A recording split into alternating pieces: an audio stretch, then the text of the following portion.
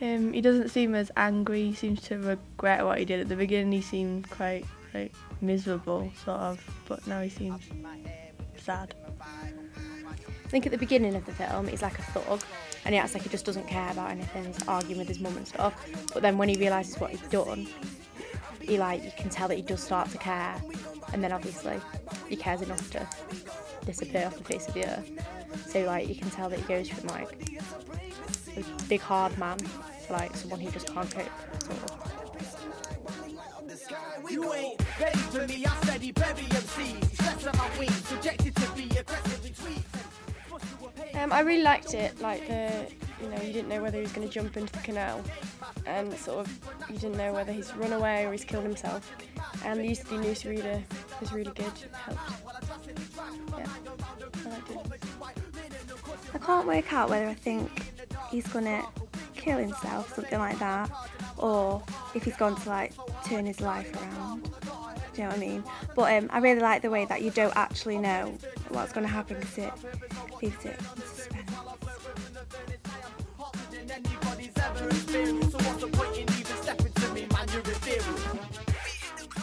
At first, I kind of hated him. I kind of thought he was a bit, a bit like I don't think he was very nice, especially when he was like beating up the guy. But then towards the end, I did feel sorry for him and like just a bit when he when he was like really lonely, kind of on his own and stuff. I kind of felt sorry for him and yeah, I'd say I connected with him. I thought like definitely like yeah. Um, yeah, in the film, I felt that you could really like feel the pain and suffering that this character was going through, um, especially with the Dutch tilt shot because I felt with as it was like spinning, it like created the image that this guy was also like spinning in his mind, like going round. But it worked well.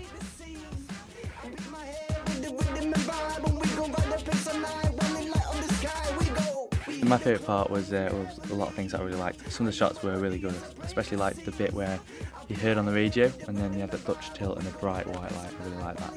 Um, uh, but uh, I really liked the ending, the way it just cut off. Well, that was cool. But my favourite part was uh, the jump sequence with the music. I thought that was really cool. So, yeah.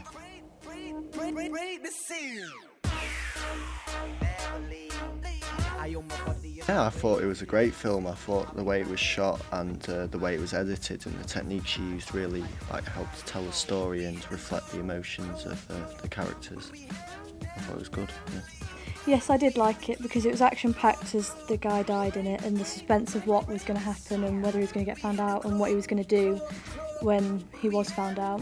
And also, I liked the sound effects when he found out that the person had died and like when the radio was going, and also the editing where it went really white and sort of turned around.